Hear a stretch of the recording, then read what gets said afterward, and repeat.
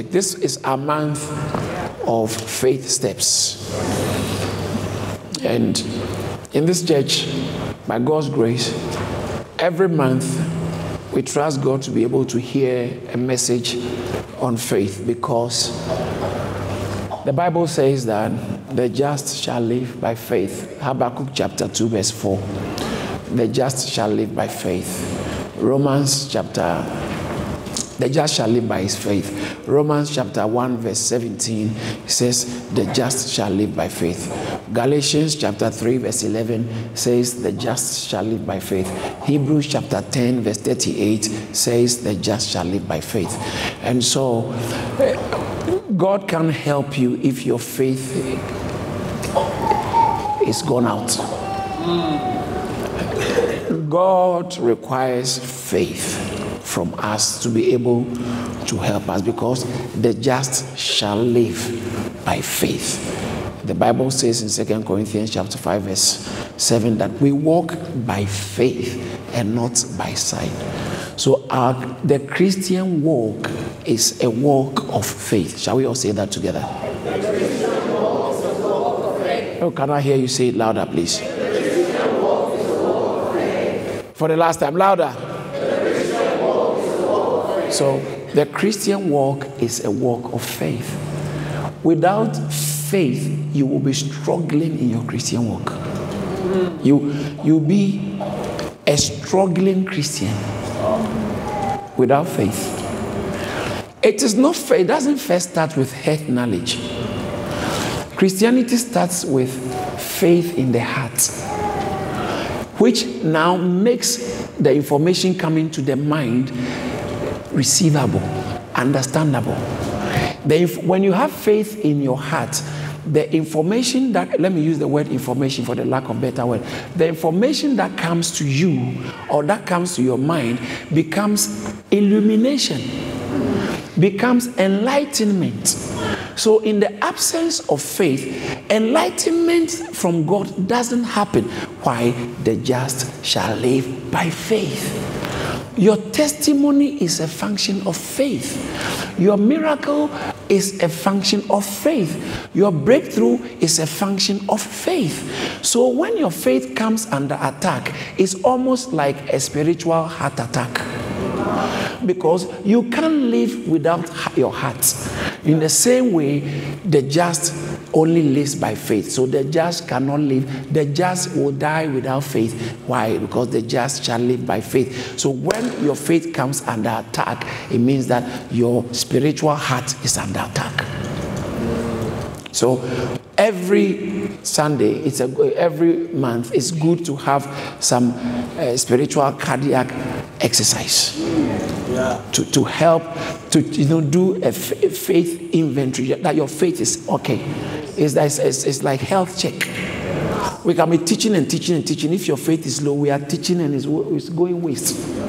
So every now, that's why cars do servicing. Every now and then, make sure the car is in good servicing, and then the car will keep going, keep going. So I'm just trying to help you come up in your faith. I'm just trying to help you stay. Watch this. I like that one. Thank you, Holy Spirit.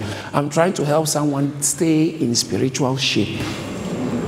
You gotta come, come, stay in shape. Be in shape. Once you are in shape, you'll be fine. Praise God. So he says the just shall live by faith. Now, for, according to Second Timothy chapter um, sorry, First Timothy chapter 6, verse 12, he said, Fight the good fight of faith. All right. So Paul told Timothy, let's let's just read the first sentence there. Let's go.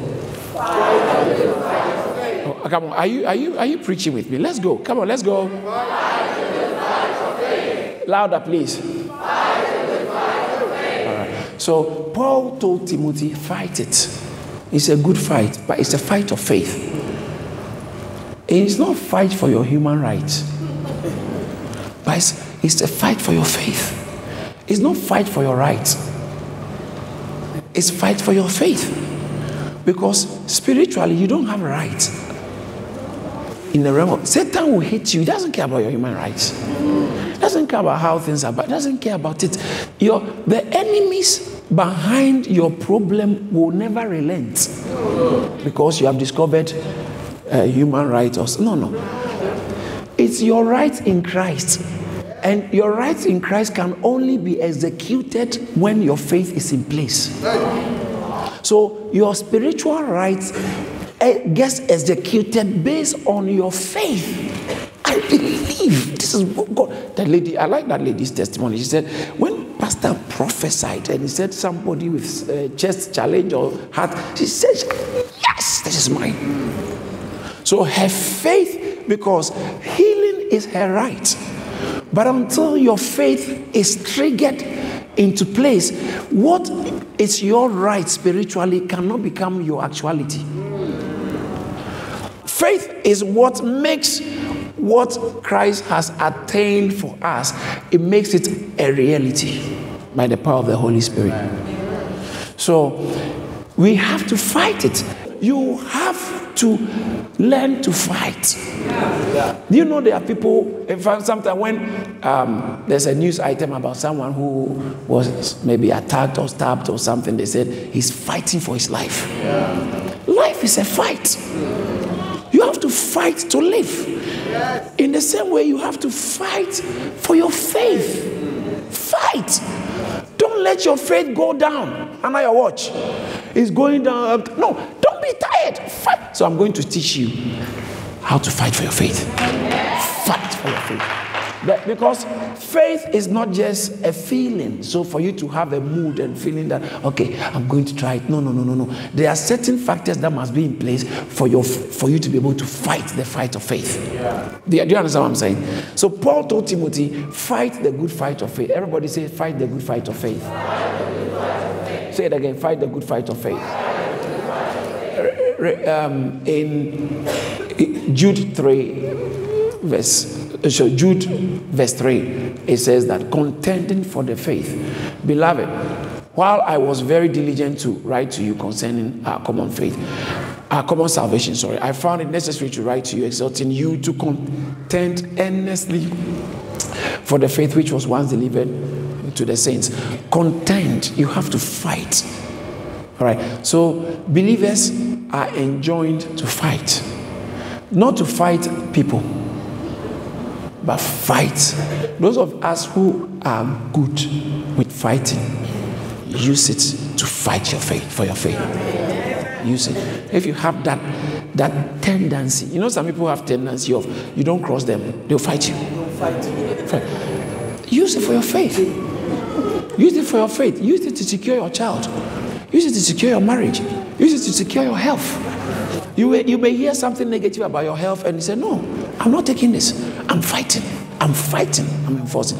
How do you fight for your faith? Number one, I said it that fear not. Someone scream, fear not. Fear. Louder, fear not. fear not. In Mark chapter 5, verse 36, Jesus told Jairus, Jesus, when Jesus said, when Jesus heard the words that were spoken, he said to the ruler of the synagogue, Jairus by name, Do not be afraid, only believe. King James says, Fear not, only believe. There are 365 fear nots in the Bible. There's so everywhere in the Bible. 365, one for every day. One for every day. Because every day comes with a different challenge. Some of you are not aware. So, as you are nursing yesterday's wounds, it will distract you from preparing for tomorrow's issues. Because every day, Bible, Jesus actually puts it this way: said, "Sufficient for the day is the evil thereof." He said, "There's enough evil in a day for you to be adding to it by worrying."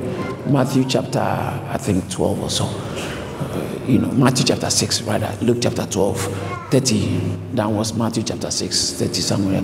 Jesus said that for, for tomorrow will take care of itself. Sufficient unto the day is the evil, that there is enough evil in a day that you don't have to add to it by worrying about tomorrow. Today's problems are enough. So if you worry about tomorrow today, you are adding to the stress of today. And he said, the stress the stress the challenges of today is sufficient, it's enough. So if you don't worry about tomorrow, you can live longer. Why? Because you are taking a day at a time and you have enough strength to handle today's problem.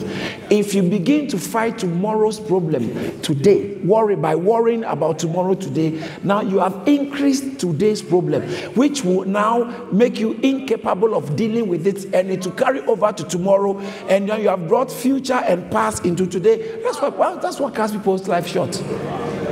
So Jesus said, sufficient for the day is the evil thereof.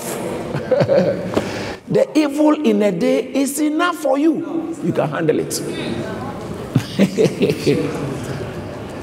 Look on your way to church. Maybe you have to dodge traffic or, or you have to jump on this bus. Some bus driver drove and left you and all that. It's sufficient for the day. All right. That alone is so much. Why are you worried about next month? What's going to happen? So fear not most of the time, fear is always about the unknown. It's about what is coming, what is ahead. Fear not. Fear not. Jesus said, so instead of fearing, what you do, believe. So you want to fight the fight of faith, choose that I will not be afraid. The psalmist said in Psalm 56, verse, uh, verse 3, he said, Whenever I am afraid, or what time I am afraid, I will trust in you. How many of you have, have feared before? Sometimes your bosses call you to come for a meeting and they have, they have laid off a few of your folks and then they said, next week we have a meeting with you. You go fearing. You go fearing. Some of us don't open certain type of letters. Not because of smartness, but because of fear you won't open the letter. Fear not. Okay, so the Bible says that fear not, just believe. So, this is how to fight the good fight of faith. Don't be afraid, keep believing. Just believe. Because fear will not add to you. Yes. Ah. Believing will not take from you. So, instead of fearing, fear will take from you. Believing can add to you. So, instead of fearing, which is taken from you, why don't you believe, which will not take anything from you? And the best is it will rather add to you. Fear never adds to you. Fear never adds to you. You can ruin your relationship because you, you were always afraid your man was going to cheat on you. Yeah, that's true. So you ended up making him even, you sowed the, the thoughts into his head. Yeah. He's maybe not like that, but your former, your ex was like that. And now your ex has given you a worldview of men. Mm. That is not helpful, healthy for your current relationship. Mm. You, you are always afraid something will happen. Always afraid. Job said, What I feared has happened to me. You are always afraid. Somebody puts it this way said, Fear is F E A R, false evidence appearing real. So it's false. Don't be afraid. Most of the things we are afraid of never happen. Yeah. Mm. Yes. Never. Remember, just I'm just trying to, even when you were not a believer, you remember a while ago, some things that you thought you had lost your job, or you've lost your house, or you've your husband was going to divorce you or your wife was going to divorce because of the thing that came up. You knew that my marriage is over. You knew that this relationship will not happen mm. because this information has popped up. Mm. You were so worried you lost sleep. Mm. You remember when you were fighting that visa battle? You knew that it was, it's, you've lost it. And you were so much afraid, and you said, Please, please, please. And actually, you were worrying unnecessarily. When they called you for a meeting, you thought they were going to sack you, not knowing they were going to give you other offers. May that be your testimony. Anybody who has been called for meeting by your employers, I pray may it turn into an, a promotion for you. So He said, Whenever I'm afraid, I will trust in you. Fear not. I like the way Psalm 118, verse 6 says, It says that uh, the Lord is on my side. I will not fear. What can man do unto me? You, you must develop that, that attitude of confidence in God. I'm not afraid. Yeah. I'm not afraid. Uh, What can man do to me? What can man do to me? What can man do to at at at worst they'll say, okay, we are taking your job. They can't kill you. I know of a gentleman who had a serious crisis. Serious crisis. The police raided his house, and so it was it was looking so bad. The wife was down years ago, and then he told the wife. He, he was the guy was telling me later. I said, I told the wife, you know what? Worst case scenario, they'll put they'll, they'll tell me to go to prison. They won't kill me. Yeah. And so he started reading a lot of information, people who've been to prison and back, what they do. Yeah. He, he said he was preparing, the, they will not kill me. If I will be killed, that's different.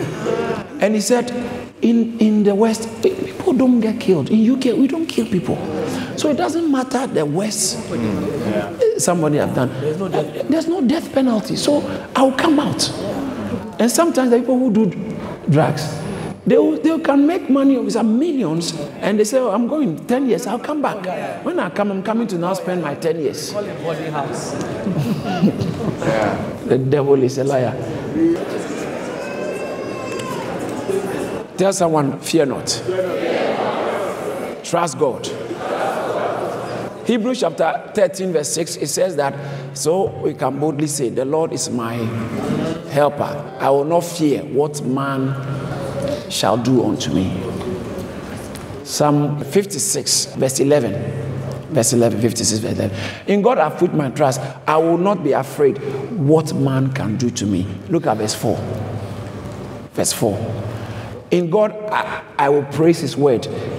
In God I have put my trust. I will not fear what flesh can do unto me. Don't fear, okay? Don't fear. Especially when people threaten you. Don't fear. Just put your trust in God. That can you imagine you are you work somewhere and this particular person has determined that you will make sure you lose this job. Don't fear if God is behind you. Do you understand what I'm saying? Don't fear. They will go and you'll still be there. And all their cohorts or accomplices or their supporters, they will all go and you'll still be there. Praise the Lord. Psalm 27, verse 1, it said, The Lord is my light and my salvation. Whom shall I fear? Whom shall I fear? You see that? Let's read it. I think this is a good confession to me. Let's read it. Let's go. Mm-hmm. I need you to read it with confidence, okay? I'm just trying to train you to let the word of God come out of your mouth, enter your heart, and release it from it. That's how God works to help us, right? So read it out loud again. Let's go. The Lord is my life and my salvation. Whom shall I fear? The Lord is the strength of my life. Of whom shall I be afraid? Don't be afraid. Trust God. Bible says that Psalm 20 verse 7, some trust in chariots, others trust in horses, but we will remember the name of the Lord, our God. Trust God and fear not. Number two, create and maintain a word-filled atmosphere. Create and maintain a word-filled atmosphere. What's a word filled atmosphere? An atmosphere where, you know, the word of God, things that are bringing the word of God to you. So, like church, like at home playing, preaching message in your car, some of the, the songs we listen to, it must be bringing the word to you.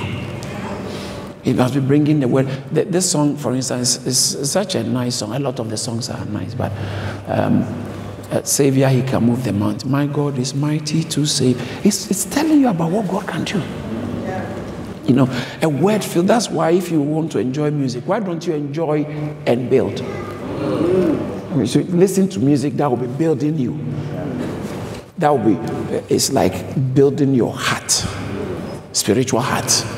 So you can you'll be able to take on whatever the enemy brings you. Sometimes your faith is so weak because your faith has been starved. You haven't created an atmosphere that, you know, when you are in certain atmosphere, naturally, your faith does better. How many of you know what I'm talking about? There are some atmospheres you go in, you can realize that you feel lifted. You feel uplifted. You feel, well, I can handle the week. I can, I can, I can handle the issue ahead. You know, so when you create or allow a word filled atmosphere, faith feeds on the word. Actually, Bible puts it, faith comes by hearing. So, what you hear matters. What you hear will determine the quality of your faith. Amen. Jesus told them, Be careful what you hear. What you hear will set the pace for your faith, it will determine the quality of your faith. So, it is necessary to create an atmosphere where the word of God keeps coming in. If you are believing God for a miracle, create a word filled atmosphere. Mm. Praise God. Hallelujah. It's necessary. How do you create a word filled atmosphere? Generate it. When you are not in church, create a, a kind of church atmosphere around you. In your car, especially those of us who have cars that can play music or oh. yeah, create it. You understand it? Create it. And nowadays, because of smartphones and stuff like that, earphones. Yeah. Almost, I mean, practically all phones, I'm, I, I, I guess so, I might be wrong. Many phones come with earphones. Practically. So when it comes, just plug it, use it when you are in town. Listen to message, listen to, you're in the train, you are reading, then be listening to some spiritually uplifting songs. Don't waste your ears. Always take advantage of the environment and get something going in. Get something going in. Create the atmosphere. You can be in the in the in the in, at the pub. Mm at the pub having meeting with maybe your boss and yet you have a, a word atmosphere whilst you're waiting for him you're creating a word atmosphere so word atmosphere you can generate it by yourself a word filled atmosphere mm. and by god's grace because of technology and smartphones you can download all the messages yeah. get them on your system they listen because faith comes by hearing you see you have to take conscious steps mm. to fight the good fight. So when you are doing that, someone may think that why are you always playing this kind of music? Let the person know. Some of them you don't have to answer them, but you have to know that you are you are fighting the good fight of faith. I'm showing you how to fight. You don't wait till crisis. The doctor said we have to chop your leg. Say God forbid. we have, and then you say no. I believe I, it is a bit too late. Yeah. Don't wait for crisis to come before because faith is not a spare tire mm. to use in time of crisis. Faith is a lifestyle, not a spare tire. Amen. Don't wait for crisis. Then, oh, oh, faith. Oh, I need faith. I need faith. It will be too late. Mm. When when doctors tell somebody that this is a crisis and we, you, we have to do something about it, and you may you may live with a certain condition for the rest of your life. Listen what you don't want is some terrible illnesses. God forbid. A doctor tells you that you've got cancer. No, listen. Say God forbid. God forbid. If you don't, if you know you heard something like that, say God forbid. God forbid. And it will be according to your confession in Jesus' name. But and not even anyone who didn't say it, it will happen because you catch good things, even if it is in your blood, in your, it's about to happen. The fact that you are in this atmosphere, I kill that thing in the name of Jesus. Doctors tell you something negative. The problem is because, okay, like you are pregnant and they tell you that uh, the, the, the, pregnancy is waste, is, God forbid. Something, you know, now, hmm, you now need to find how you can encourage yourself because they have told you something negative already and you know it and it's hard to think otherwise. Mm. you? So the battle is intense. Mm. Years ago, my pastor said this in church. Years ago, he said, They told you when you started feeling the pain, the doctors told you, We suspect this, come and let's check. And then you went, they checked it. And they told you, No, this, this thing is looking serious. And you kept it very private. In spite of the crisis in your hands, you kept it private. And then it kept going on. And then they said, now the thing gets to a level where it's now out of our, it become the, is, is the, then you come to us, can you please pray with me? It's too late now. We may pray, but it's, it's a bit very late. Do you understand what I'm saying? Yeah. yeah. Tackle something. Tackle something. Don't hide things. Some of us are so uh, images. Your image is so important than your safety. So you borrow a shoe to go to prison because you want. You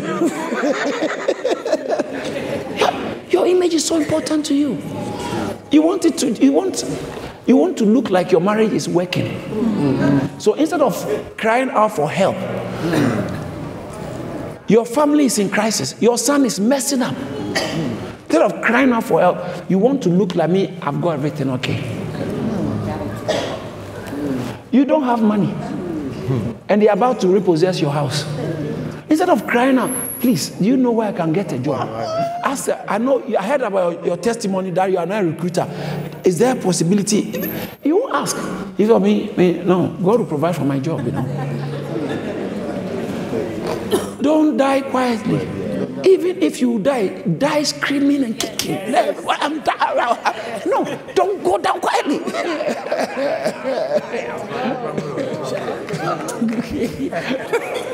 There's an African proverb which I'm trying to paraphrase it. There's an African proverb which says that if you sell your sickness, you get medication for it. I hope you, understand. What, it's like, but if you keep your sickness private, people who have even medicinal help, remedies, we didn't even know you have that sickness. They, they, they won't say, oh, this is. But if everybody knows that this or you, people can, can I help? Oh, I know this person. He knows, he treats this. I know the specialist. He treats this kind of, I know, you understand what I'm talking about? I'm not uh, supposing that I go around telling people your sickness. But what I'm trying to say is that sometimes you must be able to speak out. Yeah. To places where you can receive help. Mm. Because we will get to know eventually. Mm. We'll get to know. Mm. Or we'll get to see the pregnancy eventually. You can't hide it. We'll get to know. There's, I told some people sometimes there's nothing like a private divorce. People will get to know that you are divorced. So why don't you seek help from people who can help you?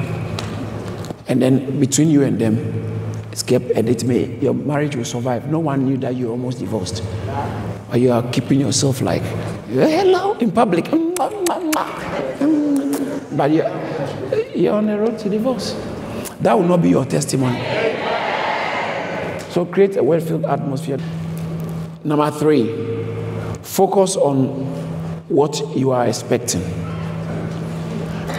Focus on that's how to fight your the fight of faith. Are you expecting God to do something for you? What are you expecting? Keep your mind on that. Focus on what you're expecting. Focus on it. Because you will see things that will make you feel like it will never happen.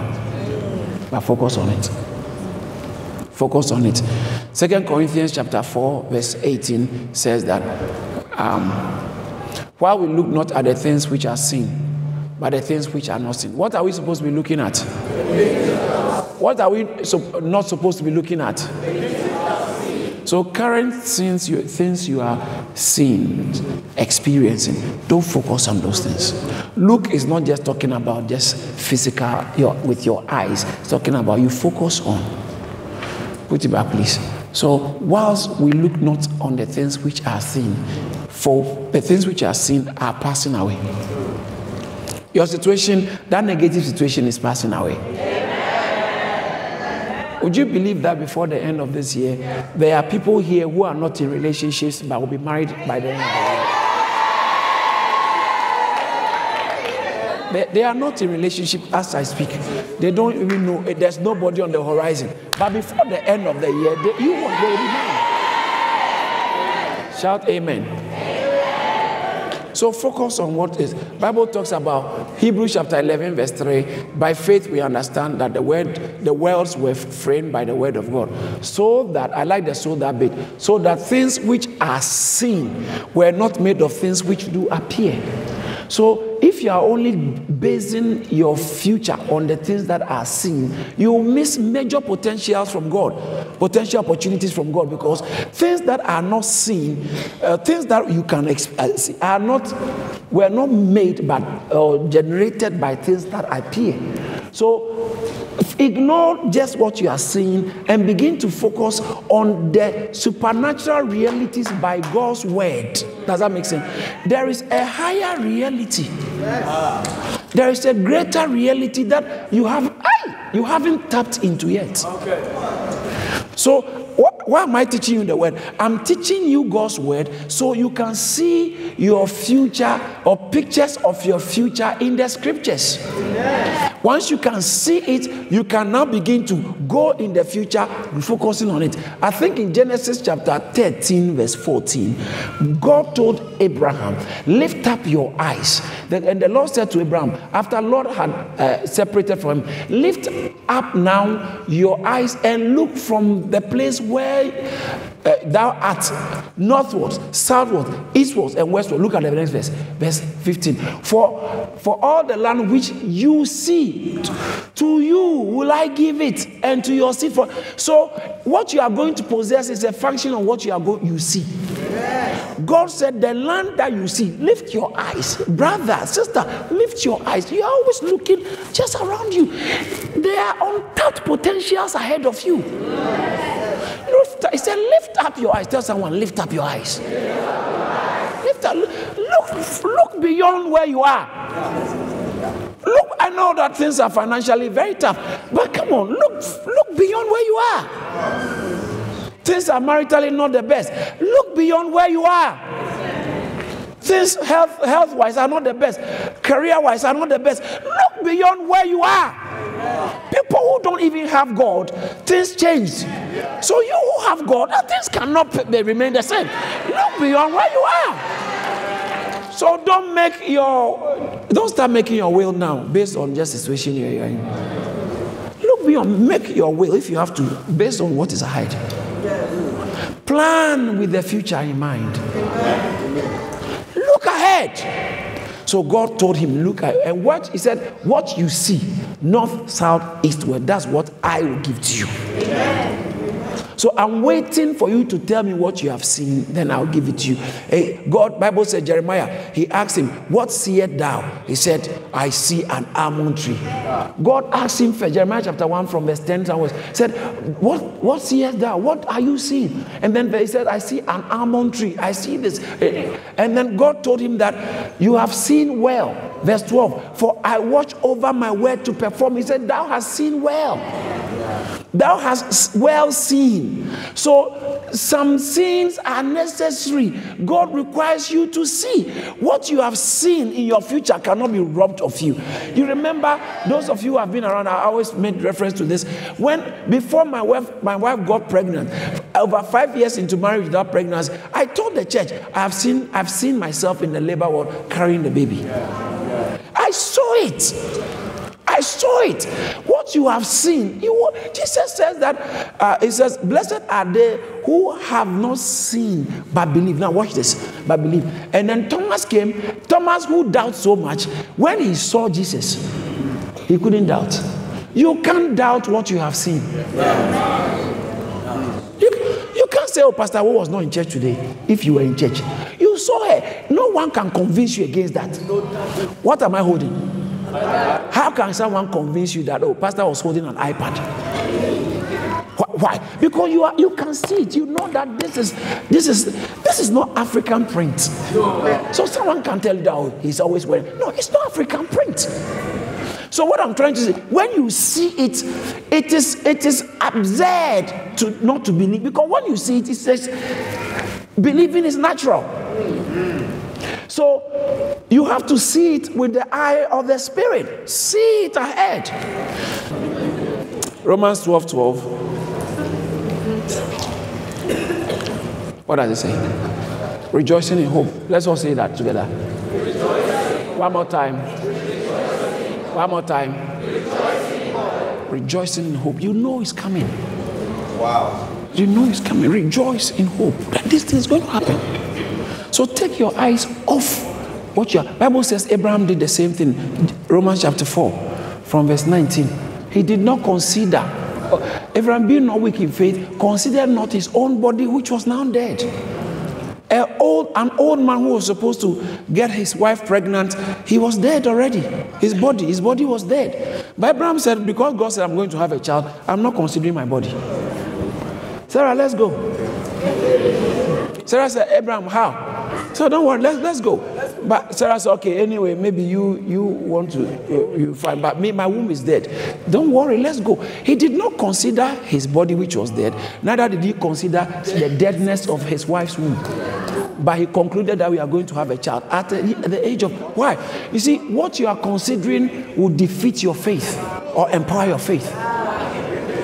Be careful what you are considering because faith is not just a positive thinking, mental projection. Faith is more complex than that. Faith is a spiritual, it's a state in the spirit. Let me show you one more scripture. You will like this scripture, very powerful. Second Kings chapter 6.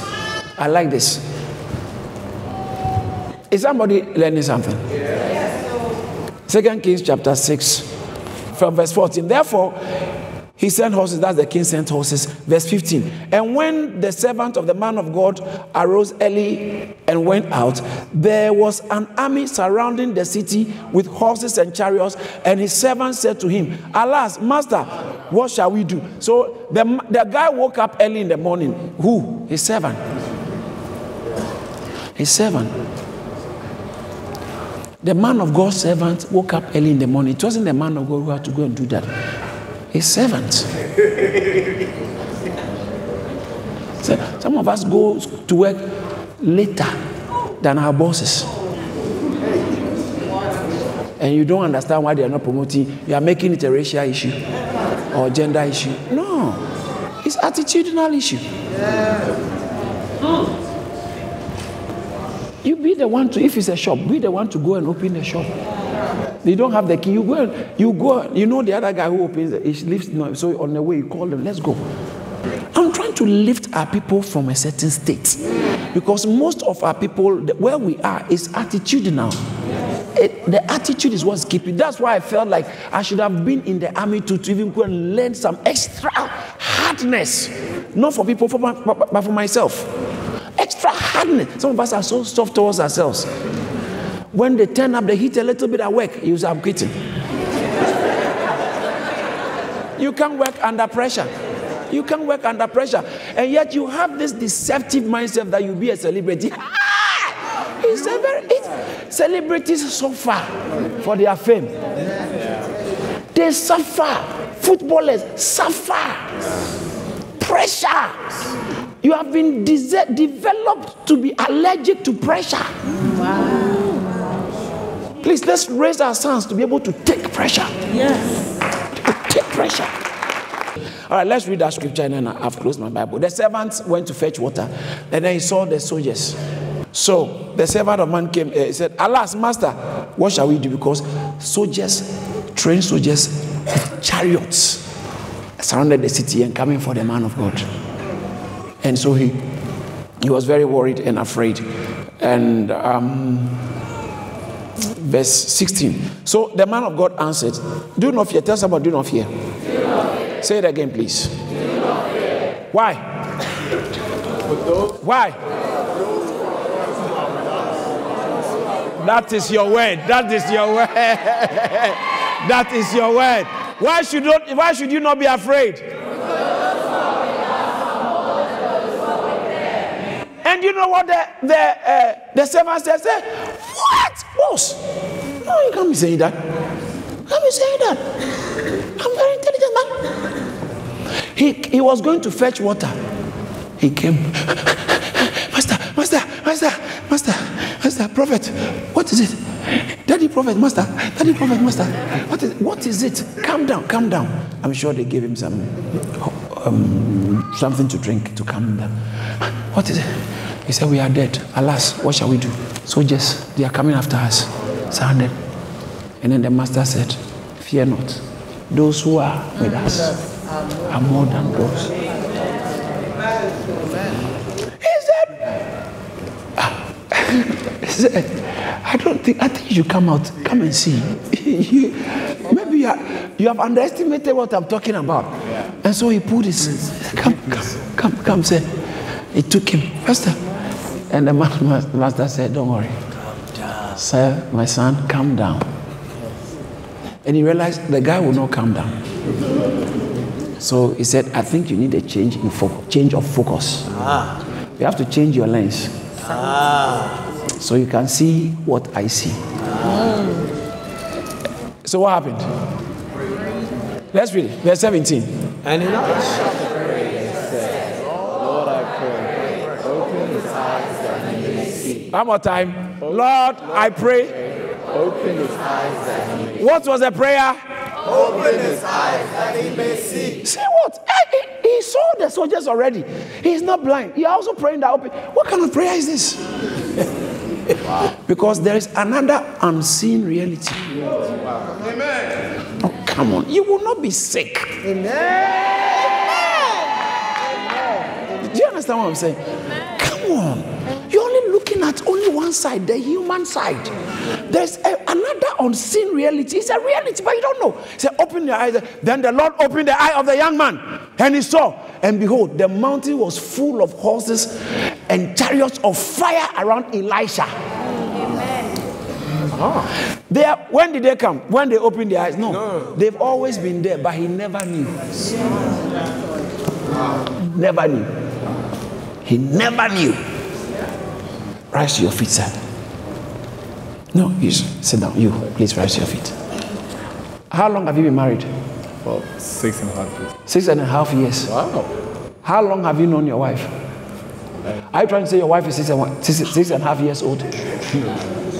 How old is she? Sorry, how long have you known her? For about seven years. Seven years. And is she over 20 years? Hey. Yes. Your wife is over 20 years. Over 30 years. Over 30 years.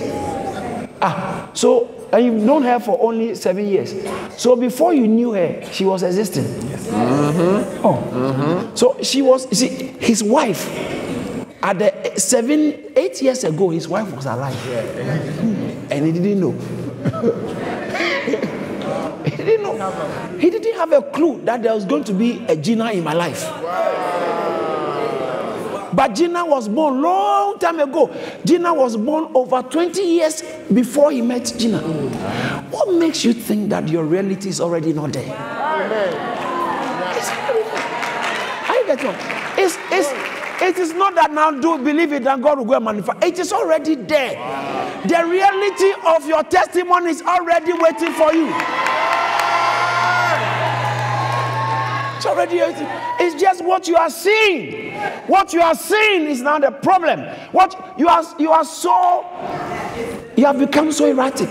You are so stressed because of what you are seeing. What you are focusing on. What, what you are watching, what you are considering, what you are looking, he said, whilst we look not at the things that are seen, but you are looking at the things that are seen, you are looking at the things you can perceive with your natural senses. That is what is determining your decisions. But hey, there is a higher reality. There is a higher reality. Am I talking to some? Listen, this year it doesn't matter what you don't, you have not seen yet. This year will end with you smiling more than you ever thought. Yes. Somebody is coming out of trouble. Somebody is coming out of trouble. Somebody is coming out of crisis. In the name of Jesus. There is a higher reality. Something, a testimony is waiting for you. But you are you are at a certain stage when it looks like it's not possible. But a testimony is waiting for you. So take your eyes off the complications. Take your eyes off the complications, the impossibilities, and start seeing the possibility. He said, As far as you can see, I'll give it to you.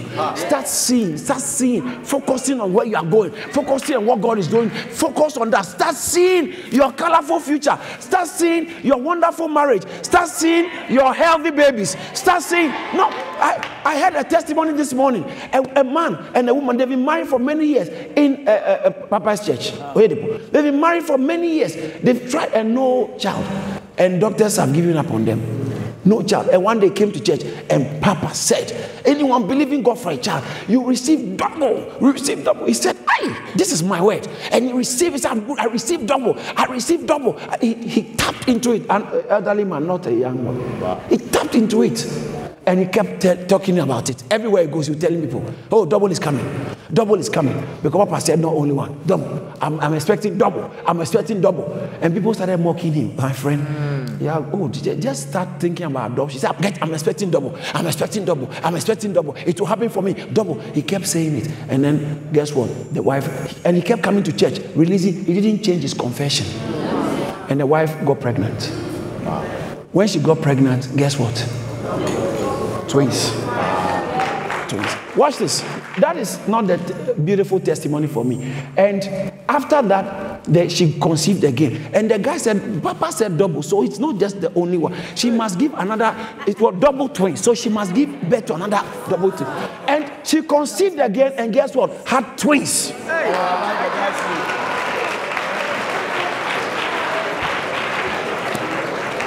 And this morning, they had returned to come and give glory to God. And they were carrying the two, first one, two boys, and the other one is a boy and a girl. First one, Isaac and David, and the second one is uh, Victor and Victoria.